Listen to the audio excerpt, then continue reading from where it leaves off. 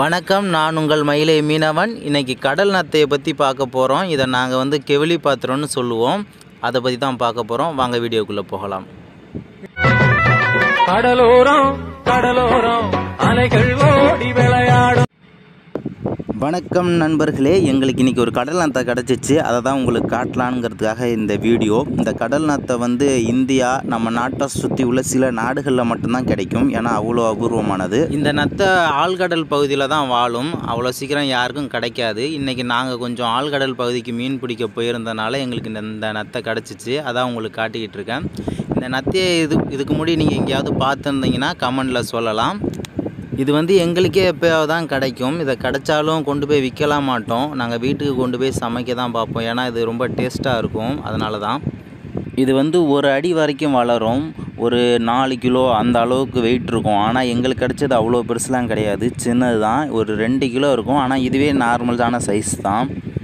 இதில் வந்து ஓடு ரொம்ப லேசாக தான் இருக்கும். அதிக வெயிட்லாம் இருக்காது. சதை தான் ஃபுல்லாக இப்போ அது ரெண்டு கிலோ இருக்குன்னா ஒன்றரை கிலோக்கு மேலே அதோட சதை தான் இருக்கும். அதில் வந்து இருக்க ஓடு ஒரு கால் கிலோ தான் இருக்கும். இப்போ அதில் வரி வரியாக தெரியுது பாருங்கள் அதான் சதை.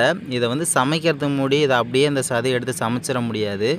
சுடுதண்ணியில் போட்டு நல்லா வேக வச்சிட்டோம்னா ஓடு தனியாக சதனியாக வந்துடும் அப்புறமா தான் எடுத்து சமைக்கலாம்.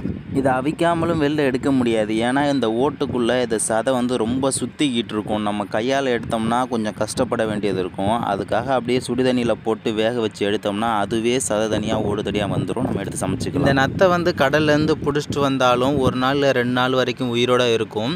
இதை கொண்டு வந்த உடனே சமைக்க மாட்டோம். ஏன்னா ஒரு நாள் வச்சு சமைச்சா இன்னும் டேஸ்ட்டாக இருக்கும். உடனே சமைக்கலாம். இருந்தாலும் இதுக்குன்னு ஒரு தனி டேஸ்ட் இருக்குது அது ஒரு நாள் வச்சு செஞ்சால் தான் இன்னும் நல்லா இருக்கும். இது வந்து ஆட்டுக்கறியோட டேஸ்ட் அதிகமாக தான் இருக்கும். இது சமைக்கிற முறையை வச்சு தான் இது எவ்வளோ டேஸ்ட்டாக சமைக்கிறோம் அப்படிங்கிறது இருக்குது வெளிநாட்டிலாம் அதிகபட்சமாக இதை சூப் வச்சு தான் சாப்பிடுவாங்க. ஆனால் நம்ம ஊரில் வந்து பெரட்டல் மாதிரி குழம்பு மாதிரி இன்னும் விதவிதமாக செஞ்சு சாப்பிடுவாங்க. காரமான இதை வச்சு. நாங்கள்லாம் மட்டன் குழம்பு மாதிரி தான் செய்வோம் இதை. ஏன்னா இது அப்போ தான் இன்னும் நல்லா டேஸ்ட்டாக தெரியும். ஏன்னா அது கறியும் அப்படி தான் இருக்கும். கடல் உணவுனாலே ஒவ்வொன்றுத்துலேயும் ஒவ்வொரு மருத்துவ குணம் இருக்கும். இந்த நத்தையில் என்ன மருத்துவ குணம்னா இது ரொம்ப குளிர்ச்சி தரக்கூடியது. இதை சாப்பிட்டோம்னா உடம்புல உள்ள ஹீட்டு எல்லாம் குறைஞ்சி உடம்பே குளுமையாயிடும். இந்த நத்தையோட ஓட்டில் வந்து பலவிதமான கைவினை பொருட்கள் செய்யலாம். இந்த நத்தையே ரெண்டு வகையாக இருக்குது ஒன்று வந்து இப்போ நீங்கள் க உங்களுக்கு காட்டிக்கிட்டு இருக்கல இந்த ஆரஞ்சு நிறமாக இருக்கும். இன்னொன்று பழுப்பு நிறமாக இருக்கும். இதாவது அடிக்கடி கிடைக்கும். ஆனால் அந்த பழுப்பு நிறமாக உள்ளது அவ்வளோ சீக்கிரம் கிடைக்காது. அது ரொம்ப ரேரானது இந்த நத்தையோட ஓட்டை நாங்கள் பாத்திரம்னு சொல்லுவோம். இந்த பாத்திரத்தை நீங்கள் பல பேர் பல இடங்களில் பார்த்துருப்பீங்க எங்கே பார்த்தீங்க அப்படிங்கிறத கமெண்டில் சொல்லுங்கள் நான் இதுக்கு முன்னாடி போட்டிருந்த நிறைய வீடியோஸ்க்கு நிறைய பேர் க கமெண்ட் பண்ணியிருந்தீங்க. உங்கள் எல்லாருக்கும் நன்றி. நீங்கள் நிறைய கேள்விகளும் கேட்டிருந்தீங்க. அதுக்கான பதில் அடுத்தடுத்த வீடியோவில் போடுறேன். நான் இந்த நத்தையை பற்றி சொன்னதில் உங்களுக்கு எந்த விஷயம் ரொம்ப பிடிச்சிருந்துச்சின்னு இந்த கமெண்டில் சொல்லலாம். இந்த வீடியோ உங்களுக்கு பிடிச்சிருந்துச்சுன்னா லைக் பண்ணுங்கள் ஷேர் பண்ணுங்கள் இது போல் நிறையா வித்தியாசமான வீடியோக்களை பார்க்க கடல் சார்ந்த விஷயங்களை தெரிஞ்சுக்க மயிலை மீனவன் சேனலுக்கு சப்ஸ்கிரைப் பண்ணுங்கள் மறக்காமல் பெல் பட்டனை அழுத்துங்க. அப்போ தான் நாங்கள் போடுற எல்லா வீடியோ உங்களுக்கு கண்டினியூஸாக வரும். மற்றபடி நீங்கள் வேறு என்னென்ன பற்றி தெரிஞ்சுக்க ஆசைப்படுறீங்க வேறு என்ன பொருளாக உங்களுக்கு கேள்விப்பட்டிருக்கீங்க ஆனால் அதை பார்த்ததில்ல அப்படிங்கிறத பற்றி நீங்கள் கமெண்டில் சொல் சொல்லலாம்.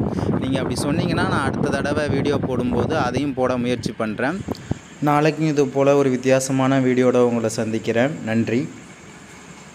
அம்மா கடலம்மா எங்க உலகம் நீ அம்மா தினம் ஆடி ஓடி பழைக்கும் எங்க பசிய தீர்க்கும் சாமி நீ கடலோ